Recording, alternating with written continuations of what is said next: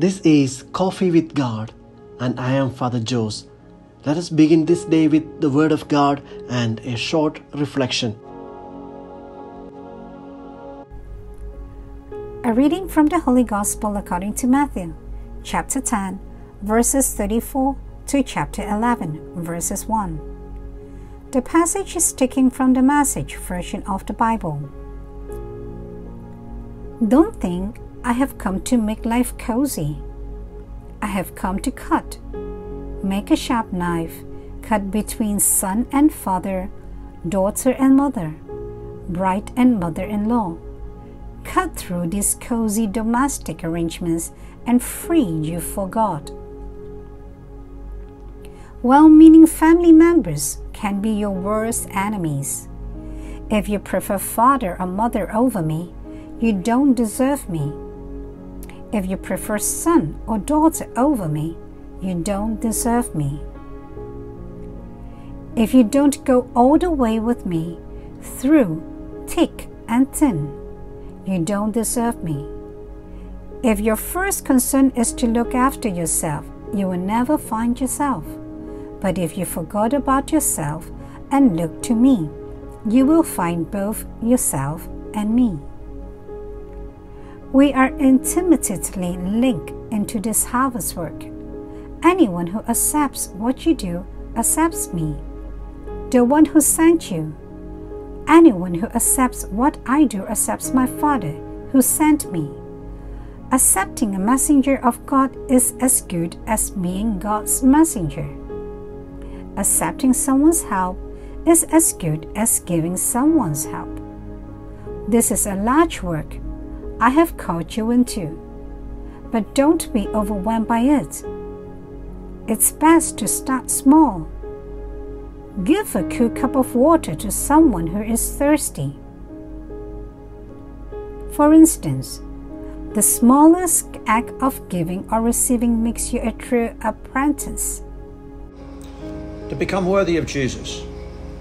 Faith in Jesus is always challenging. Faith could be a battle within ourselves because our faith would demand us to do away with our selfishness.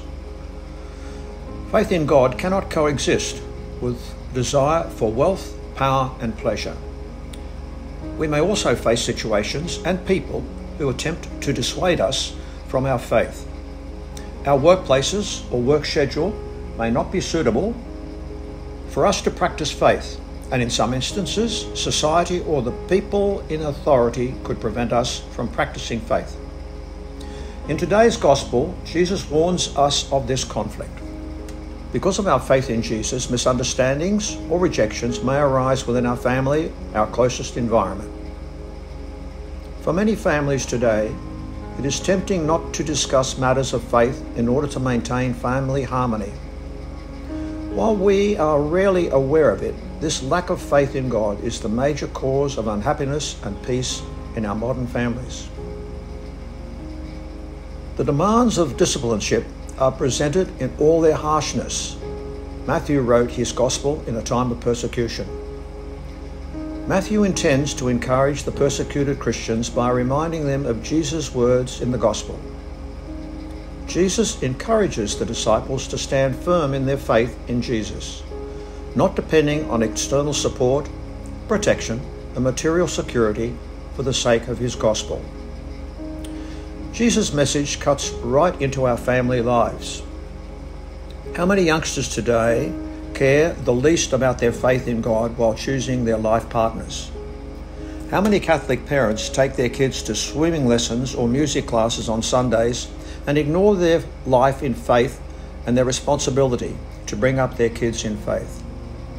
And how many Catholic couples consider it normal to terminate a pregnancy when a child is inconvenient? A remarkable promise is made to those who welcome preachers of the gospel in the second part of the passage, verse 40 to 42. Whoever welcomes you welcomes me, and whoever welcomes me welcomes him who sent me. Verse 40. Not everyone has received the same qualities and gifts from God. In different ways, but with the same generosity, every true believer is called to support those who dedicate themselves to proclaiming the gospel.